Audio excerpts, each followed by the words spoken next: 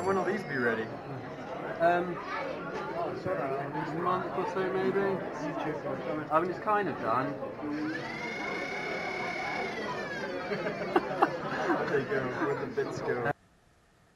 Dark is definitely. Everyone's going to moan about the bloody lighting now, aren't they?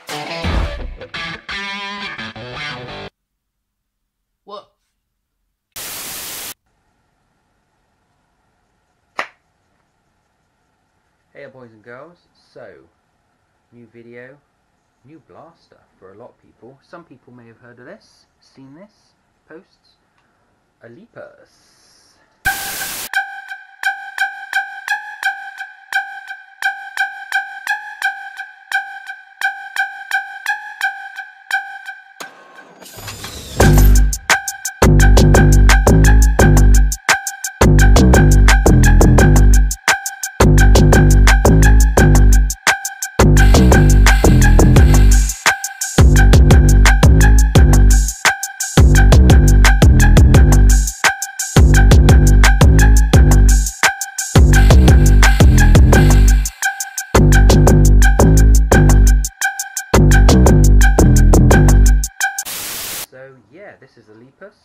Designed. Um, this particular one is printed and built by Jack Rabbit Nerfer.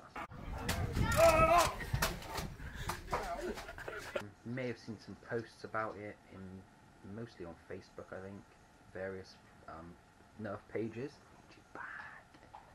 Um, yeah, so essentially it's uh, grip, mag fed. Only takes talons right now. Uh, quite tight because it's just a friction fit. Little full auto uh, pistol. Um, so let's get into it then. Um, start off grip. It's quite nice. It's quite chunky, obviously, because it's got to fit a mag up inside it. Um, could do with some finger, I can't remember what you call them, bits here. But if you look here, there's not really much space for it. Um, exposed switches, which I know a lot of people who have seen this um, have commented about. It's not an issue at all. Um, I pull these, but I've got the battery. So yeah, typical rever. Uh, the pusher. Um, yeah, this exposed switches. It's not an issue at all until they get they can get caught on things. Um, so I have got. Well, I haven't got. There is a holster which I'm waiting on. Um, but yeah, the only issue with the exposed triggers um, switches is them getting caught on things and potentially ripped or bent out. Um, other than that, it's not an issue. But I know that when he gets a chance, he's very busy doing things like designing things, full-time job, kids, life. Um, if when if when he gets round to doing um, updates, there are he, he has thought is thinking of putting a cover. Anyway, let's move on from the switches. I've gone on that too long.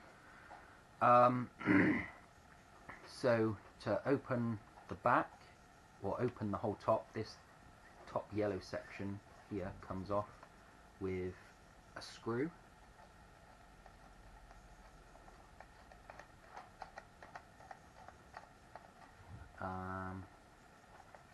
I need to chop this down. I think it's quite long. There's somewhere where I don't lose it. And then the top just lifts off. You've got it's just the inside. You've got a little lumpy bit there, which is just to keep the pusher down. Um, put that one there as well. so inside, so you've got space for your battery. Takes the Worker Hurricane wheels. Um, the cage essentially is just this top piece. Um, I mean, it should be hitting around one, 100 to 120. it's just mainly designed for QCB, close combat when you're in the shit, like jams, in between reload, sidearm. um, yeah, so it's it's not meant for high FPS like the Woozy um, gets. I think it's 150, isn't it? Something like that, but that's dual stage. But the whole idea of this that Dan came up with was for it to just be for, you know, close range kind of encounters, let's call it. Apparently this has got a smaller footprint than a Woozy. I couldn't tell you because I don't have one. So, yeah, close range. I'm not letting you out right now. I'm doing this. Um, so, battery, like I said, you got your third switch for the pusher. The pusher just. Yep, that's the pusher. Um, cool little whirligig. You've got a little PCB in here. I don't really know what that does. I, I mean, obviously it controls everything. I this is is it on this bit? Yeah.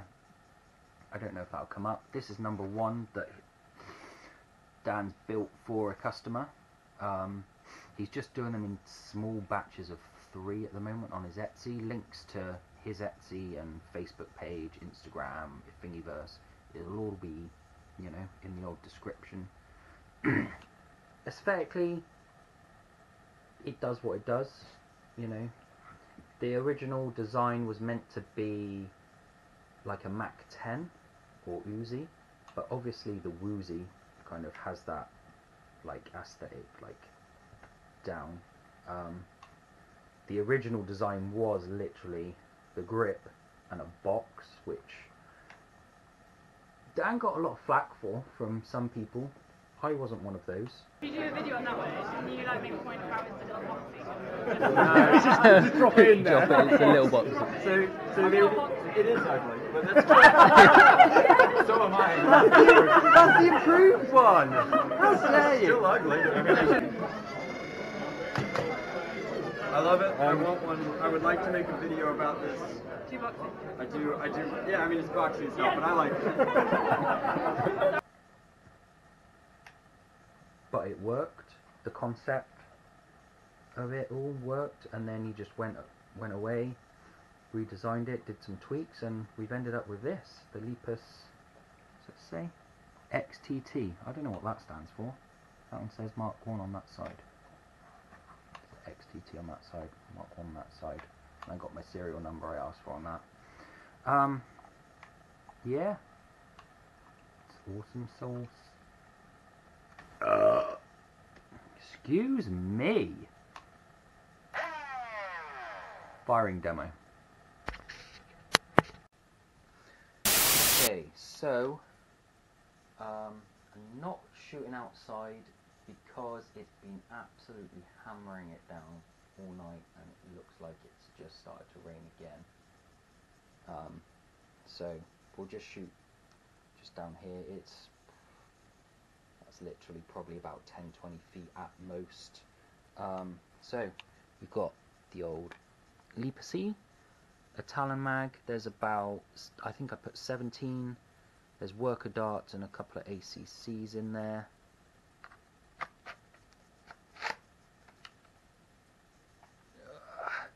Right. Let's get at it.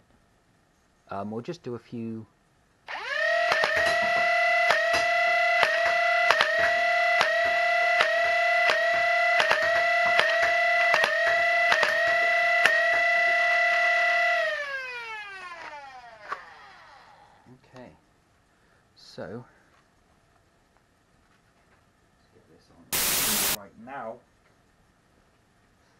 going to do a full auto test. So as you can see, just single firing is possible, double tapping, or just two is possible. Now, let's see how long it takes to empty a full mag. Here we go.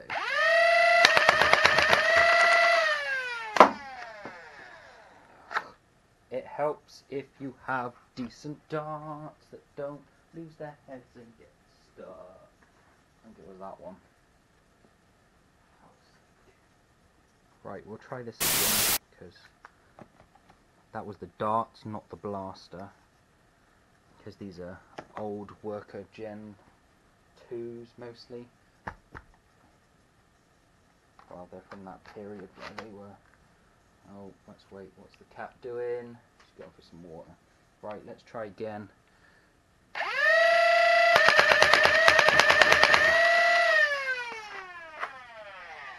Full mag in, what was that, like a second?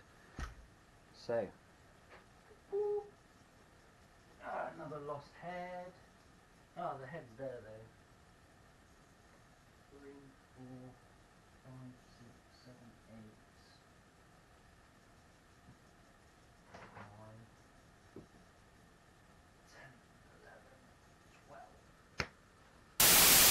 Okay, so a quick chronograph thing. Not going to be particularly scientific. How's this going to do? So I've gone for an ACC, a white, a yellow, then a green worker, and then a black tipped ACC. First one was grey, um, and then a white, yellow, and green. So it's only eight shots, but just to give you an idea, I've got to try and single this over the thing. Oh.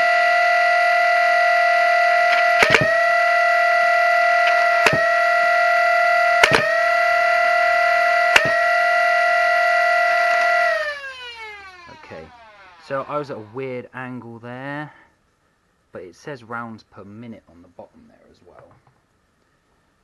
So, let's try once more.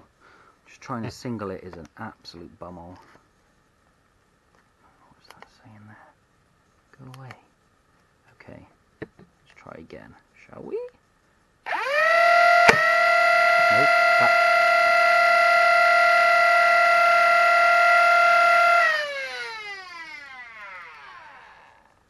Hmm. Houston, we have a problem. Battery on the camera's about to go as well.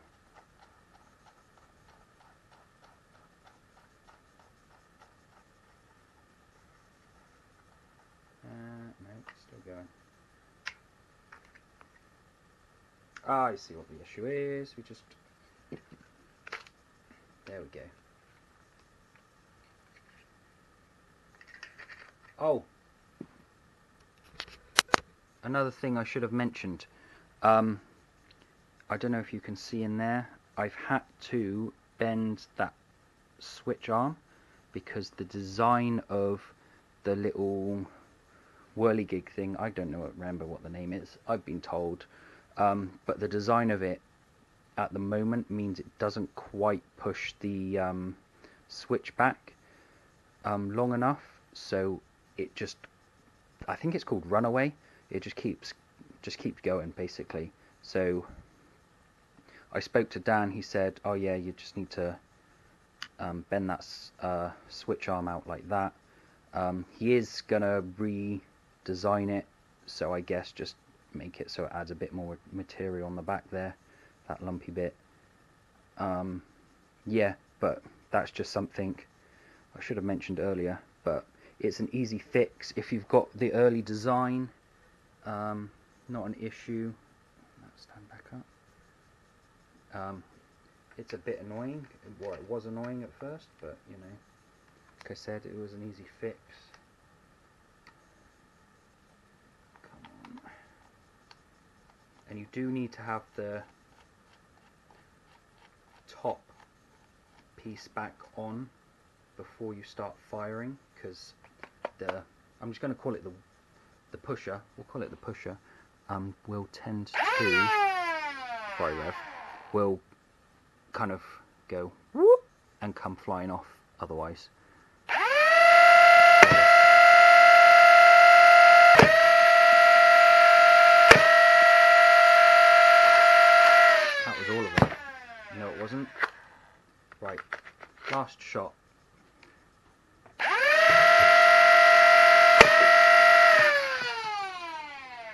So there you can see it's getting a you know mid to high 90s lows of you know whatever the lows were 70s um yeah and then it said like a hundred and something rounds a minute which converted to rounds a second your guess is as good as mine. It doesn't come up with that kind of data. I do have a Lego DI chronograph. Um, I just need to program the Arduino but I haven't gotten around to downloading all the software and stuff. Um, but yeah that so that's a little bit of chrony data for you. So having spoken to Jackrabbit um, about this at a bit more detail. Um, possible um, updates for the future are making it katana fed um, but that's going to involve not just redesigning this but on the inside it's going to need redesigning as well like where it comes up. And these bits here um, I believe will need repositioning or readjusting. Um, people have asked if it will um, if a flywheel the world version will be available. Um, again it's a lot of redesign because of the way that the motors and wheels sit. Um, it's very it's probably going to be a lot more work and that probably won't happen to be honest with you. The katana version there's every chance. I use mostly katanas. I have like 25 katanas and katana variants. I have like four talons which I literally bought for this. Um, but yeah the flywheel the world because the hurricane uh, wheels they sit like normal wheels over the motor whereas the flywheel the world wheels I believe sit on top. So this whole section here is going to have to be redesigned to fit those. Um, so yeah I don't know if that will actually happen but the katana version is I'm going to push for it let's put it that way. Um, so if you buy these pre-built by um, Dan himself, they will come with Jackrabbit motors. They're like his motors that he's sourced um, from somewhere, we don't know where, and he's named them Jackrabbit motors. There is the possibility of it being um, sold pre-built by other people, but I don't know if or when that's actually going to happen. I couldn't tell you what um, motors they'll use, but they'll they have to use these wheels, the Hurricane wheels. You've got the, I think there's the smooth and the serrated ones. Um, these have the, this one has the serrated ones. Um, so yeah, I've been with, followed this project quite closely. Um, been excited for it. I nearly got a woozy, and then Dan pulled his finger out and got this out. Messaged me literally a few weeks before me making the final decision. um, yeah. So, yeah, I don't know if he's going to do hardware kits. I should check his Etsy. If you check his Etsy, yeah, I highly recommend it. I mean, from the guys that have used this and have one at part of my group, they all love it. Um, it's yeah, it's just a fun little thing. That's going to be an absolute bitch to cut together. But so yeah, that's the Lepus. Um, I definitely recommend getting one. Um, it's it's so much fun, so much fun. Um, like I said, links in the description for all of Jackrabbit. Um, Jackrabbit Nerfer, I think is like his full title uses on all the stuff. Links all below. Any other links for purchasing and stuff I'll put below as they become available. Um, what else? Links to my Instagram will be below. um, subscribe, like, comment, um, ring my bell, and yeah. I think that's it. I really wish I still had a mag. I only brought one in. I said I've only got a couple. Cat does not look impressed, but then she's looking at the dog. And the dog's looking at me, and I'm looking at the cat.